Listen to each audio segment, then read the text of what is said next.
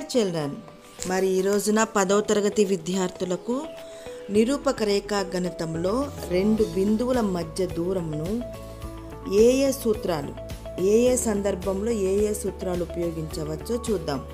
మరి ఈ సందర్భాన్ని చూద్దాము. ఎక్స్ అక్షంపై ఉన్న బిందువులు A X one zero B X two zero.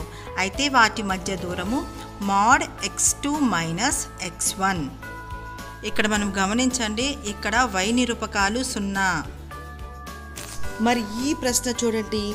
Why అక్షంపై ఉన్న బిందువులు A zero comma Y one B zero comma Y two. అయితే వీటి మధ్య దూరం. ఇక్కడ ఎక్స్ నిరూపకాలు లేవు వై నిరూపకాలు మాత్రమే ఉన్నాయి.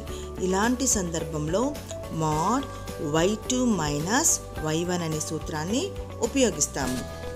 మరి ఈ ప్రశ్న చూడండి. బిందువులు ఏ అనేది ఎక్స్ కామా జీరో బి అనేది జీరో కామా వై అంటే ఒక బిందువు ఎక్స్ అక్షం మీద ఉంది ఇంకొక బిందువు వై అక్షం మీద ఉంది. ఇలాంటి సందర్భంలో మధ్య దూరానికి సూత్రం ఏంటో తెలుసా?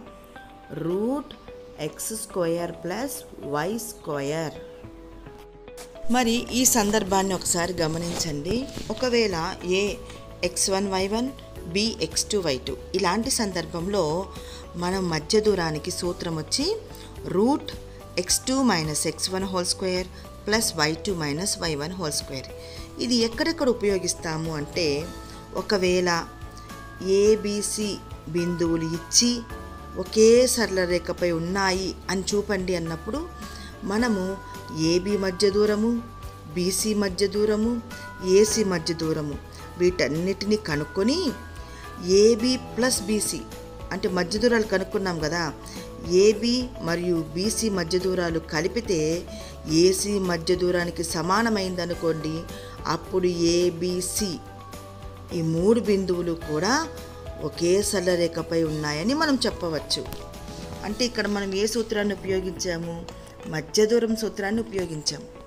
మరి మధ్య దూరం సూత్రం ఇంకొక చోట.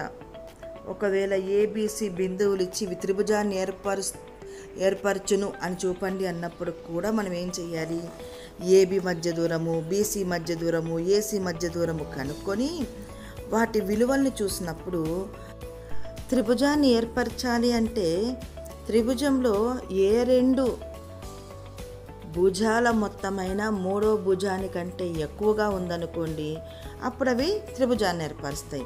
లేదంటే ఇంకొకటి ఉంది. ఏంటి? ఏ రెండు భుజాల మధ్య భేదము? అంటే ఇంకో భుజం లో నుంచి ఇంకో భుజాన్ని తీసేసినప్పుడు మనకు మూడో భుజం కంటే కూడా తక్కువ వచ్చిందనుకోండి అప్పుడు అవి త్రిభుజాన్ని ఏర్పరుస్తాయి. ఆ శీర్ష అంటే ఆ బిందువులు త్రిభుజం యొక్క శీర్షాలు అని చెప్పచ్చు అనమాట అంటే ఇక్కడ మనం ఉపయోగించింది కూడా ఏంటి? మధ్య దూర సూత్రమే.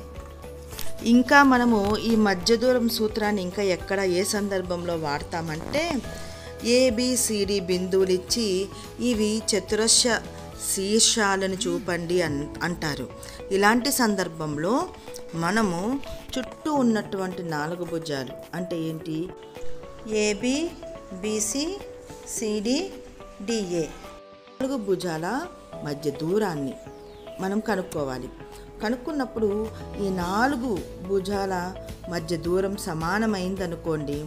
అంతేకాకున్నట్టుగా వాటి కర్ణాలు ఏవేవి? సిఏ అంతేకాకున్నట్టుగా డిబి వాటి మధ్య మధ్య దూరం కూడా అంటే భుజాల మధ్య దూరం సమానము. అంతేకాకున్నట్టుగా కర్ణాలు రెండు కూడా వాటి మధ్య దూరం కూడా సమానమైనప్పుడు ఆ శీర్షాలు ఒక చతురస్రాన్ని ఏర్పరుస్తాయని చూపచ్చు. ఇక్కడ మనము అంత మధ్య దూరమే కనుక్కుంటున్నాము కానీ మనకిచ్చినటువంటి బిందువుల్ని బట్టి మనకిచ్చినటువంటి నిరూపకాలను బట్టి సూత్రాన్ని మనము ఉపయోగిస్తున్నాం. మరైతే అర్థమైంది అనుకుంటాను మధ్య దూరము ఏ సందర్భంలో ఏ ఎలాంటి నిరూపకాలు ఇచ్చినప్పుడు ఏ సూత్రాన్ని ఉపయోగించాలో వీటన్నిటిని గమనిస్తున్నారా? Okay, all the best.